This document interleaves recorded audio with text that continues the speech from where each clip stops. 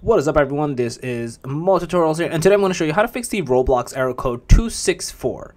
So the first thing you can do is you can click into the right click over here, click into settings, and in here you want to go where it says reset and clean up, and you want to essentially do restore settings to their original defaults and just press reset settings.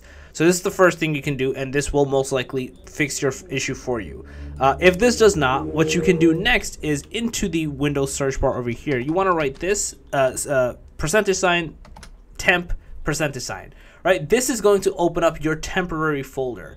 And in here, you can either look for the Roblox folder if it's here, and if it's not, you can just delete everything in here because these are temporary files. You actually don't need them. You can just do Control A and then press the delete button, and it'll essentially delete everything in here.